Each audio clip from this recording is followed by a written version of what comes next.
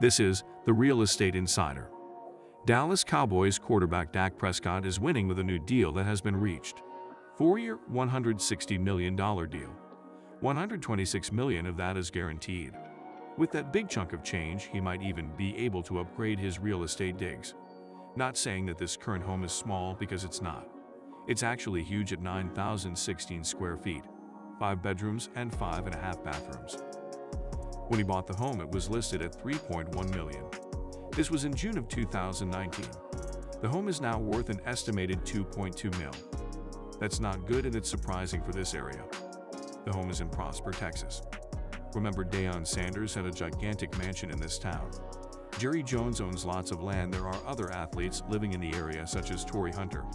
Former Major League Baseball player and former NFL player Arnaz Battle lives on the exact same street. This property is not too far from the Cowboys facilities in Frisco, Texas. It used to be located in an area in Irving, Texas called Valley Ranch, and most of the players lived in the area with exception to the big stars.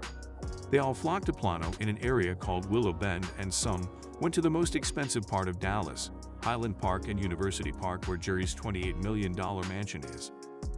Make sure you subscribe, those homes are coming soon. You don't want to miss them. Enjoy the rest of this video and let me know in the comments what you think. Again, don't forget to subscribe and check out the next video. This has been The Real Estate Insider.